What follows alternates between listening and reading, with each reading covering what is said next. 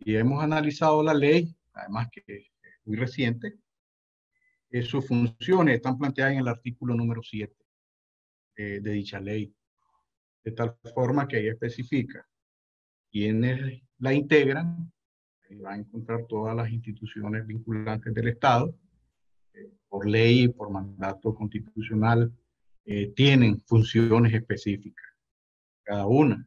Pero aquí se habla del Consejo Nacional.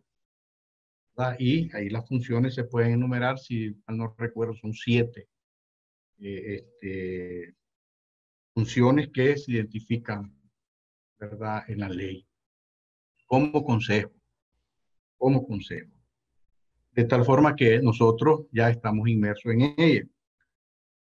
En tal sentido, nuestra institución es respetuosa de esos procesos y si hay leyes que nos vinculan, tenga la plena seguridad que las vamos a cumplir como venimos cumpliendo todas aquellas que ya están establecidas por ley y esta es otra que vamos a cumplir de acuerdo a nuestra función. Sí, justamente sobre esto último, pero realmente es función del ejército de Nicaragua supervisar el sistema financiero. ¿Hay alguna parte en el código militar o en la constitución que le faculta en este sentido?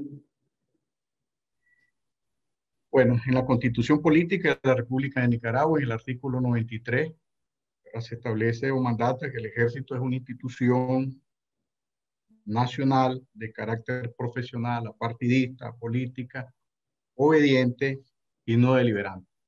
En tal sentido, también vamos a cumplir con el mandato de esta ley. Nuestra institución tiene sus misiones y tareas enfocadas en el bienestar del pueblo nicaragüense, como lo hemos venido manifestando en reiteradas ocasiones. Trabajamos día a día para fortalecer las capacidades nacionales con el objetivo de evitar las actividades ilícitas que le hacen tanto daño, no solo al pueblo nicaragüense, sino a la región, al hemisferio, podríamos decir. Y de acuerdo a eso, ¿verdad? Tenemos nosotros, entre ellos, destacar la estrategia de Estado, de estado muro de contención, que implica, pues, contener desviar y capturar la mayor cantidad de droga posible y evitar que llegue a los núcleos, núcleos poblacionales. Como un elemento destacado.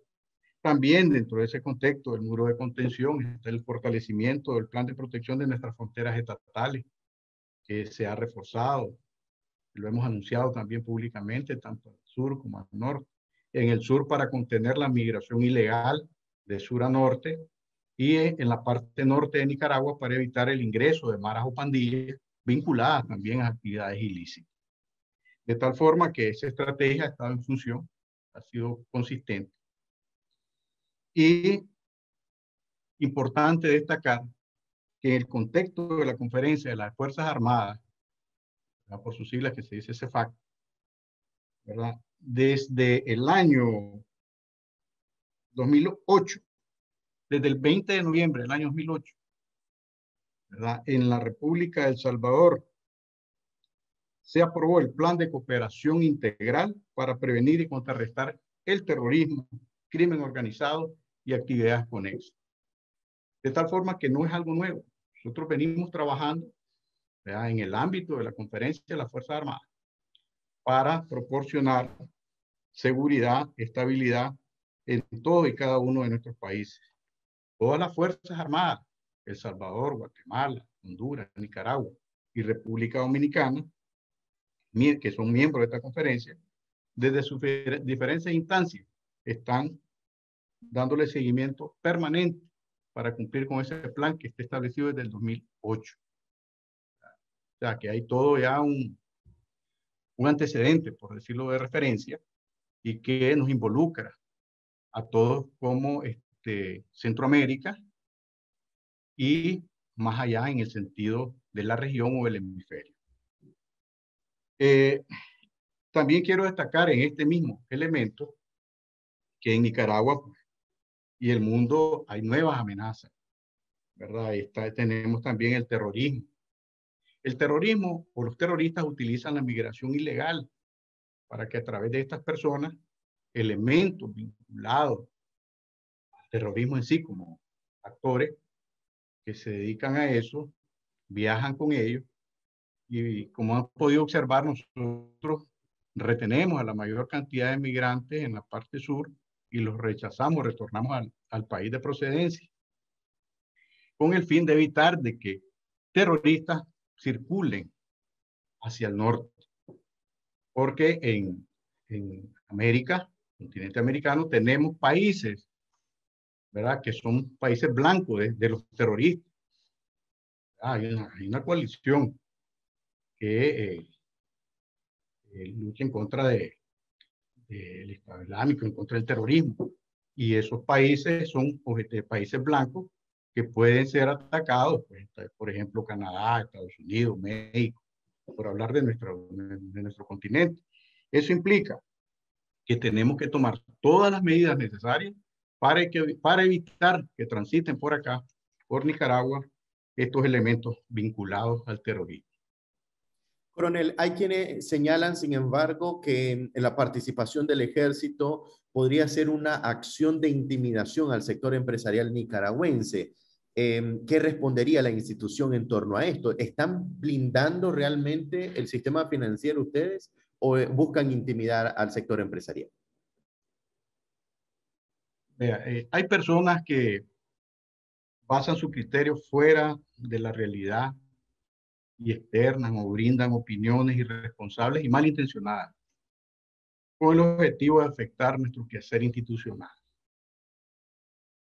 El ejército de Nicaragua es una institución cuyos actos son fundamentados según lo establecido en la constitución política. Por eso al inicio se lo, se lo enfatizaba.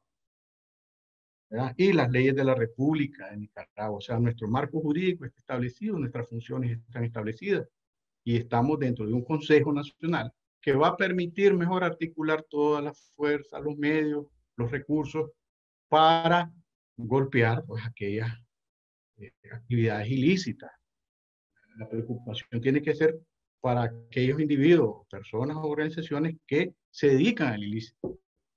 Pero nosotros como ejército está al servicio de todos los nicaragüenses y todos sus esfuerzos nuestros esfuerzos van a estar dirigidos para la seguridad de todos los ciudadanos. De tal forma que nuestro marco de actuación, vuelvo y reitero, está establecido en la constitución política. Los miembros del Consejo Nacional tienen sus funciones específicas. ¿Quiénes lo integran? Poder Judicial, Ministerio de Hacienda y Crédito Público, Procuraduría General de la República, Ministerio Público, Policía Nacional, Superintendencia de Banco y otras instituciones, Unidad de Análisis Financiero, la Comisión Nacional de Microfinanzas, Ministerio de Gobernación y Ejército de Nicaragua, cada quien dentro de su marco jurídico institucional.